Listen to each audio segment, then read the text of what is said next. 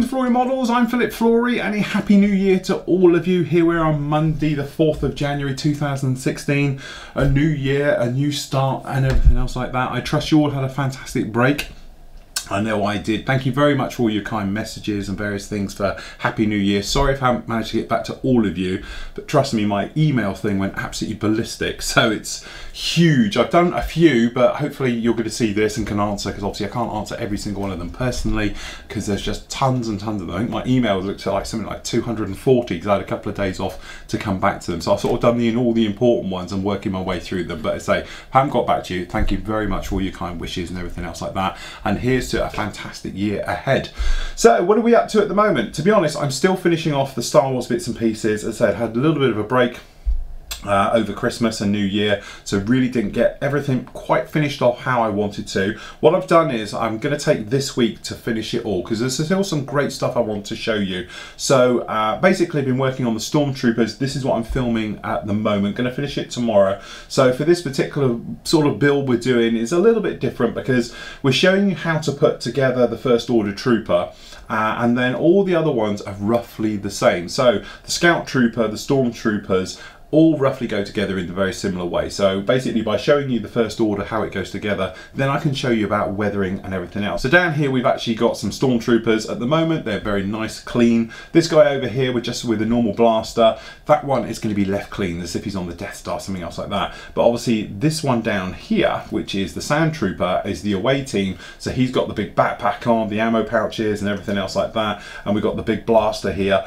Technically what we're going to do with this one is actually going to weather him up up. So pretty straightforward. He's going to have a flat coat, flatten him down, dead him off and everything else like that. Then we're going to come in with the sand wash uh, and then we're going to go to town with him and really just weather him up, scuff him up, looking like he has been down there for quite a while, uh, getting dirty and grimy, uh, unlike the other guys. Scout Trooper, very much similar to that one with that one as well. He's going to be quite, you know, scuffed, green, moss, things like that on there because he is in that sort of, you know, jungle or woodland environment and things like that. And then obviously First Order one, as you'll see, he's very clean as well. He's going to be a spotless version as well, very much reminiscent. So he can stand next to the the older uh, brother in so down there, being very clean and everything else like that. So still time to show you on those. Also, the other thing as well is we've got the X-wing display. Tie fighters. Hopefully you saw that just before. The Tie fighters are all painted and done. We did that as a standalone. So they're over behind me now. We've got two standard Tie fighters and Darth Vader's advanced Tie fighter. We have an X-wing and we are going to build our trench run. Now I've done all the casting for it, all the bits and pieces. Still some other bits and chunky bits I'm going to put in there and everything else to break it up. But basically I'm going to make the diorama base and show you that this week as well. So definitely something still to see. And then that will finish off our Star Wars thing.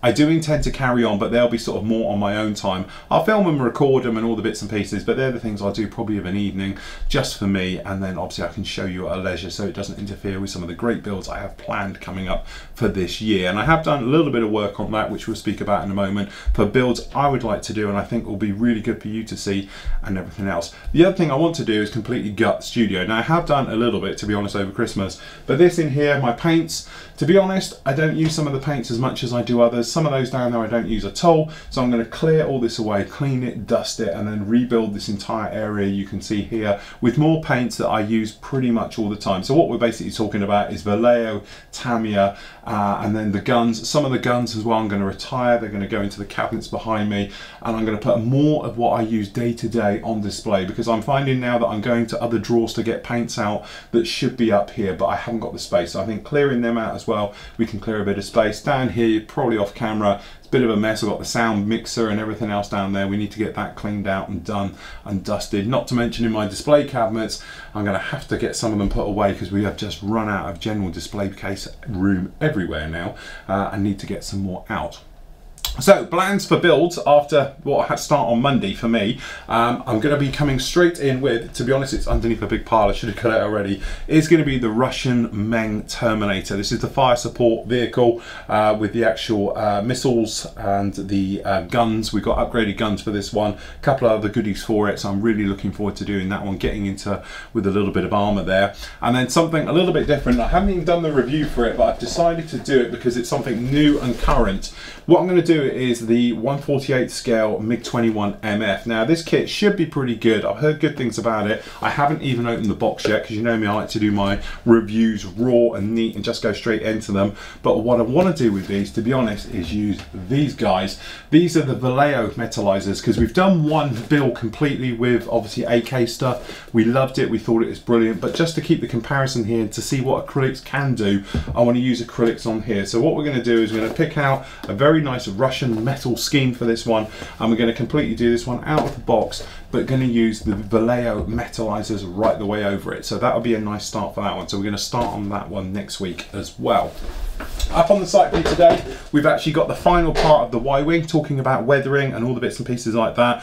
Bandai's finest kit I've worked on. It's an absolute stunning pleasure to work on this one the detail and everything else are absolutely phenomenal and brilliant. So definitely one to look out for. Parts one to three are up already. This will be the final part with the final reveal and everything else like that. But generally i have loved working on the y-wing i'd love to see him do it in 148 uh, and everything else like that. But certainly from my point of view it has been my firm favorite to date.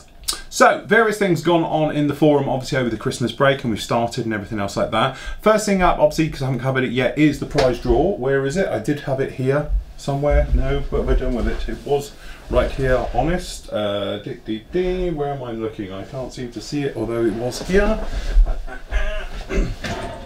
that will stay there. It probably will fall over in a moment. This is the one actually. I don't know where the other one is. Oh, sorry, it's over a pile over there. This is for this particular prize. This was for uh, December's prize draw.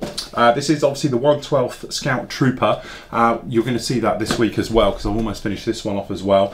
Okay, so this one is going to go to, and I drew it earlier to be honest, it went to number 124. This was drawn on the random uh, number generator site and it's going to go to Michael uh, Robinson and he's from Monmouthshire.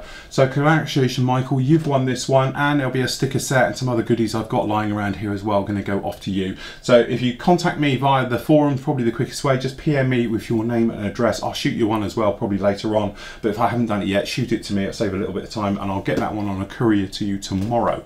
Okay, so definitely well done. Congratulations. Hopefully get that one built. As I say, this is a build for me. I've done, well, I haven't really done a lot to it, but I've got Scout Trooper just down in here.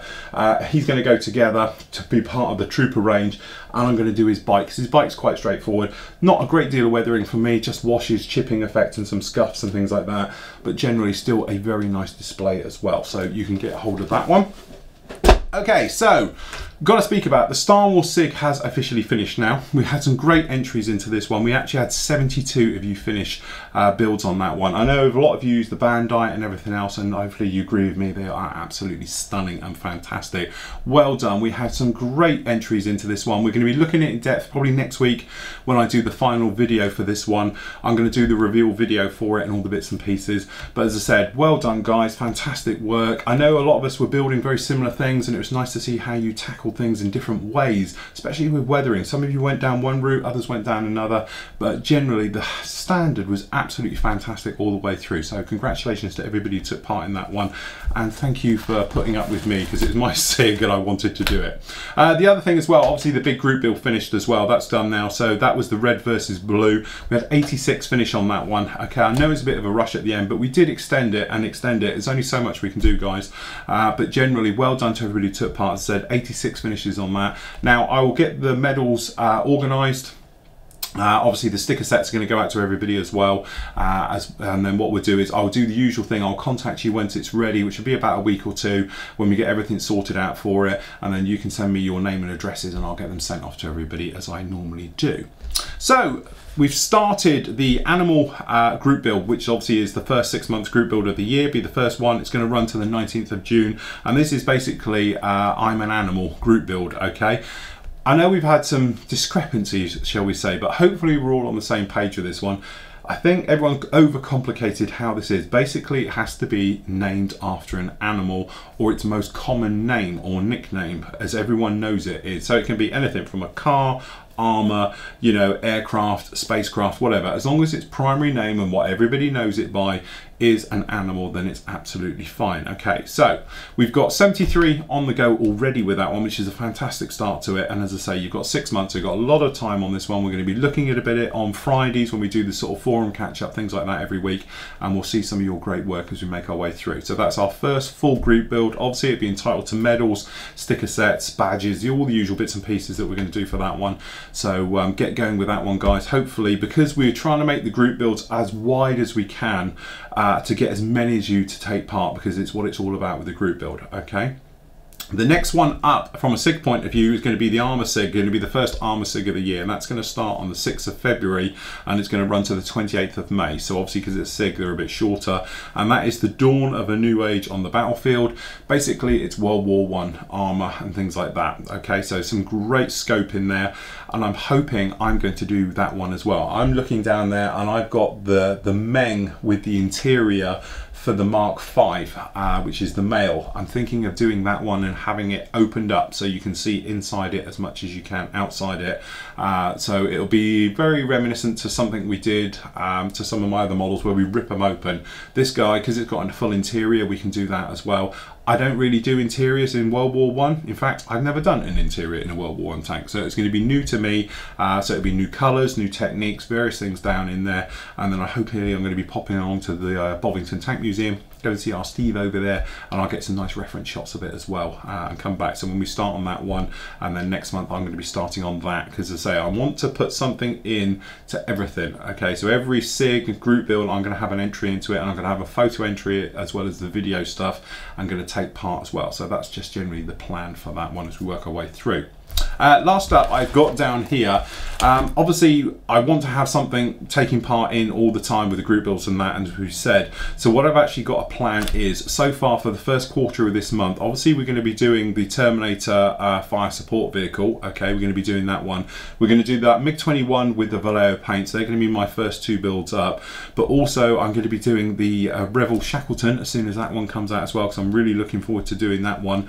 Uh, an Animal SIG uh, group build, because obviously I want to get involved with that, what I'm going to actually do is the Hasegawa 172nd Osprey. It's the new one. Uh, it should be really, really nice. I think Revell have just reboxed it as well now. So if you want to get it slightly cheaper, you can get the Revell version of it, okay, straight out of the box as well and do it like that. So we got that one. I think I've got the Revell one coming in for a review shortly as well. So be interesting to see that one.